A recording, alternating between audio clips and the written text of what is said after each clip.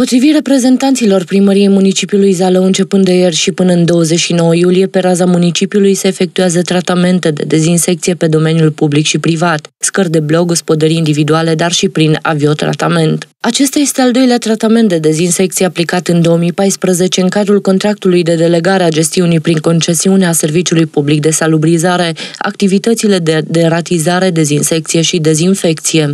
Deși data de finalizare a dezinsecției a fost stabilită pe 29 iulie, perioada de finalizare a lucrărilor poate fi modificată în funcție de condițiile meteorologice.